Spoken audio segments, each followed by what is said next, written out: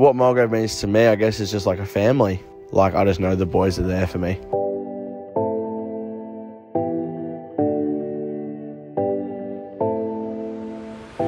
Get to the chopper. Let's do this.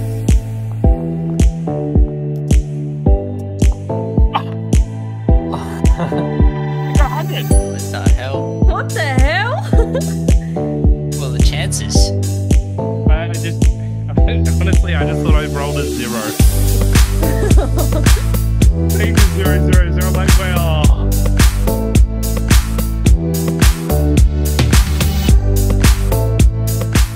Now, this is where the content for this weekly vlog was going to take place. Unfortunately, it got heated off on Saturday, so I couldn't actually be there to take photos, but I did rock down on the Sunday just before going into work and watching my Mighty Saints win against Fremantle for round one.